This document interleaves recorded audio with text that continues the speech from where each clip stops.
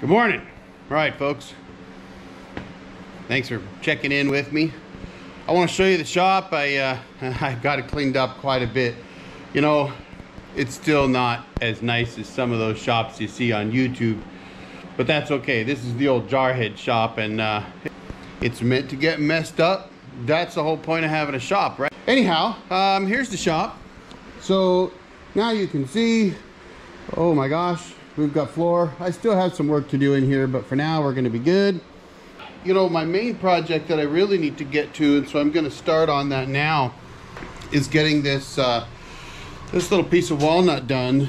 So I've got to finish cutting this bow tie in, get that cut in, get that glued in and set. Then I can cut this end off and set that aside to stitch it back together. And then take this piece off where the customer wants it, flatten one side, and finish it for them after we get that planed and sanded we'll do some Keda Dye on there and then uh, I'm actually going to coat it with uh, Park Super Glaze I happen to have some Park Super Glaze left over. So I'm just going to go ahead and use that. It's a one coat and done type thing so it'll look really nice. It'll be beautiful and I think he'll be real happy with it. So when I get that done then I've got to work on this guy right here. So that's the coffee table I'm building.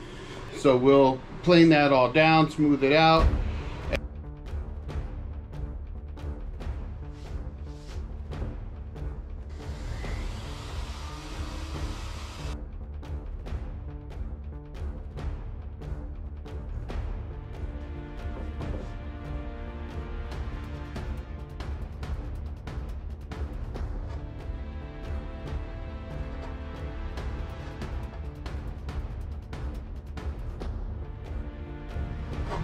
I should tell you, no one's taught me how to do this. Something I just started trying to figure out on my own. Uh, I haven't taken a shop class since I was probably 11 years old. But I think maybe there's a message there. You don't have to be a professional woodworker to do these kind of things. You just got to dive in and do it. And I have found that I learn as I go. I, honestly, anybody can do this. It just takes patience and willingness to learn. So, and and you know, if you've got suggestions out there that would help me do this better, hey, I'm all ears. I'm all ears. I will listen to anybody. Definitely need a, a corner chisel. That's pretty clear.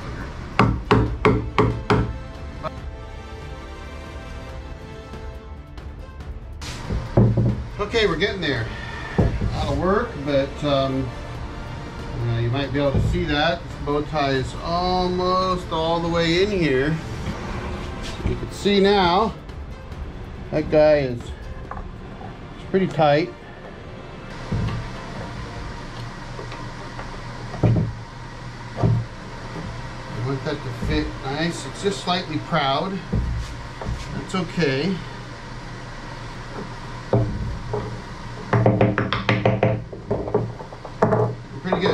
Okay, so now we're gonna glue it in place. So we're just gonna go ahead and sucker with some glue. And then I'm gonna spread it around with my finger. Sucker in there.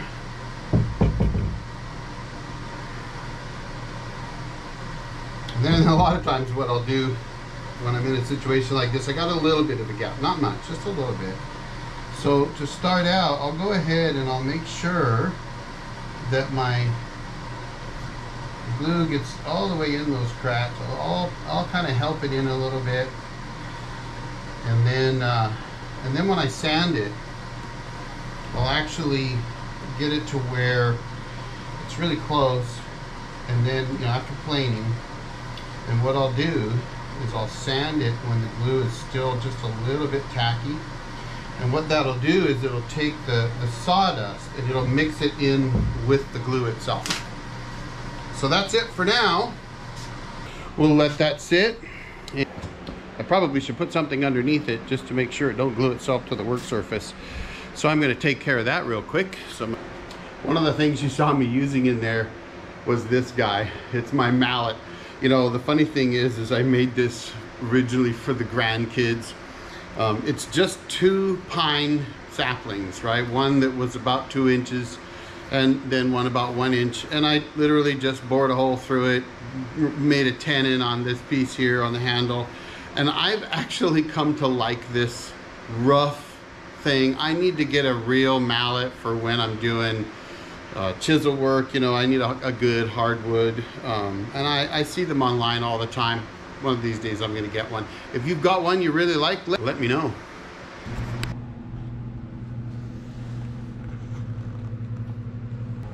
Okay, since the holding force in a bow tie like this is in its wedge shape, the glue is really just to secure it to the to the piece itself.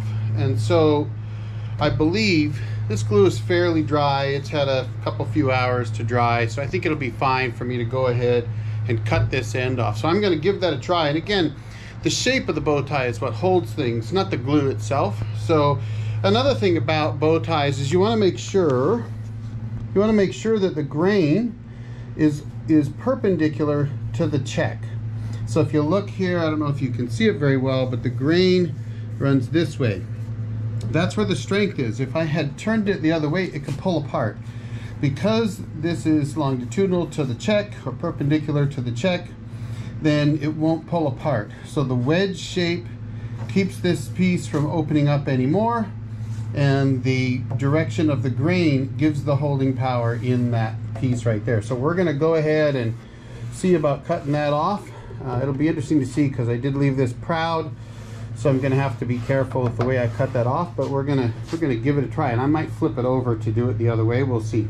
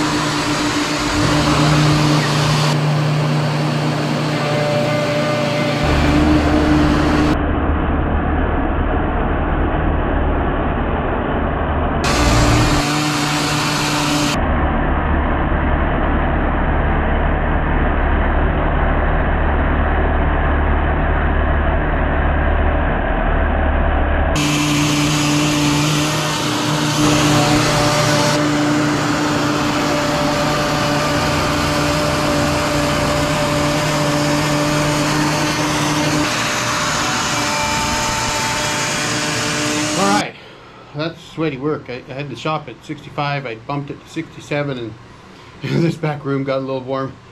I think just from running that big Makita and, and, running back and forth. So let me show you what we got here. Now you can see the marks from that planer bit. That's okay. We'll take some uh, 80 grit or 60 grit. We'll knock that down.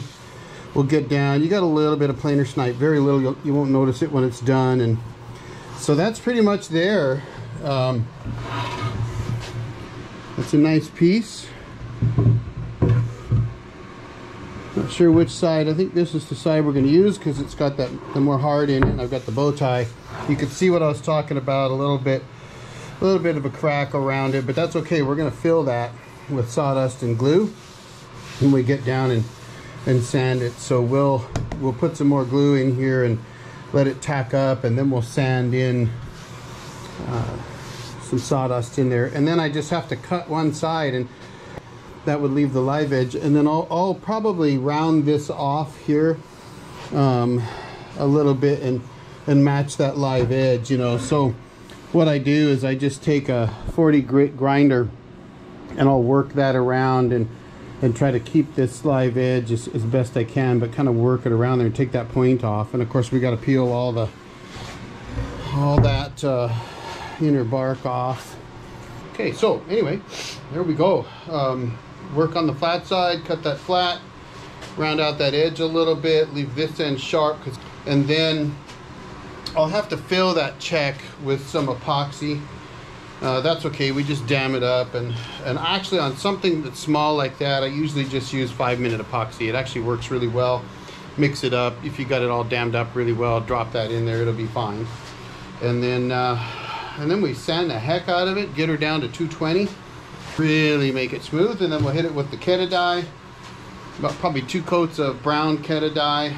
um, what that'll do is it'll it'll blend those colors a little bit together like my bar top, you know. So you'll get something like that piece there that I was making for a mantle that I'm gonna change. Okay, time to take a break.